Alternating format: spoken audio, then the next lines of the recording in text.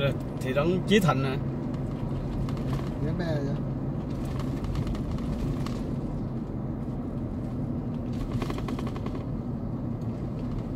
thị trấn Chí Thành huyện Tuy An.